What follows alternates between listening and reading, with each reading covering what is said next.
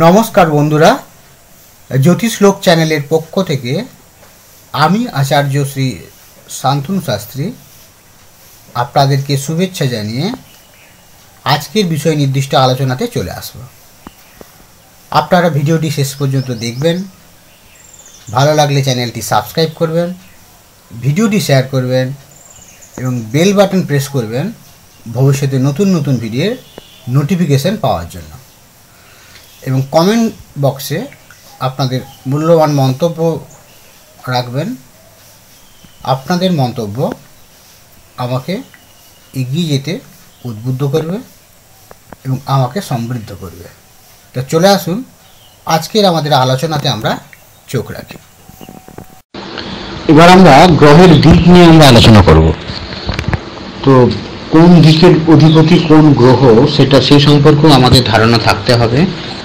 কারণ যদিও চার্ট বিচারের ক্ষেত্রে এই, এখন যে তথ্যটা আমি দেব গ্রহের দিক সেটা অতটা কাজে লাগবে না, বার চার্টের ক্ষেত্রে বলছি। কিন্তু পরবর্তীকালে যখন আমরা বাস্তুশাস্ত্র নিয়ে আলোচনা করব, তখন কিন্তু আমাদের এই কনসেপ্টটা কিন্তু আমাদের থাকতে হবে। তো আমি একটা চৌকো বক্সের মতো করেছি, যেখানে আমরা বিভিন্ন দিকগুলোকে উল্লেখ করেছি। তো সেখানে পূর্ব দিক, পশ্চিম দিক, উত্তর দিক, দক্ষিণ দিক এবং চারটে কোণকেও আমি দেখিয়েছি। দক্ষিণ পূর্ব কোণ, উত্তর পূর্ব কোণ, দক্ষিণ পশ্চিম কোণ আর উত্তর পশ্চিম কোণ।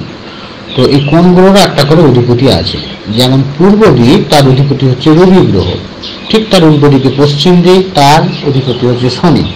উত্তর দিকের অধিপতি হচ্ছে বুধ এবং দক্ষিণ দিকের অধিপতি হচ্ছে মঙ্গল। এবার চারটে যে কোণ আছে, উত্তর পূর্ব যেটা আমরা ঈশান কোণ বলছি, তার অধিপতি হচ্ছে বৃহস্পতি, দক্ষিণ পূর্ব যেটাকে আমরা অগ্নিকোণ বলছি, তার অধিপতি হচ্ছে শুক্র। এবং আমরা যেটাকে আমরা মেরিট কোণ বলছি, দক্ষিণ পশ্চিম কোণ, তার অধিপতি হচ্ছে রাহু। আর উত্তর পশ্চিম যেটাকে আমরা বায়ুকোণ বলছি, তার অধিপতি হচ্ছে চন্দ্র। তাহলে এই এই জায়গাগুলো কিন্তু ক্লিয়ার রাখতে হবে যে কোন দিকের অধিপতি, কোন গ্রহ, এই কনসেপ্টটাও কিন্তু আমাদের ক্লিয়ার রাখতে হবে।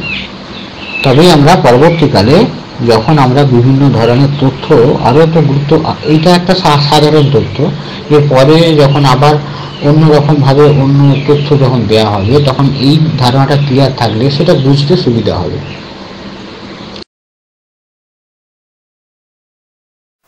যে সমস্ত বন্ধুরা অনলাইনে কাউন্সিলিং করাতে চান এবং যারা জ্যোতিষ শিখতে আগ্রহী, তারা nine nine three two four one three one seven seven এই নাম্বারে আপনারা যোগাযোগ করবেন এবং আপনারা হোয়াটসঅ্যাপ করতে পারেন এই নাম্বারে। ভালো থাকবেন, ধন্যবাদ।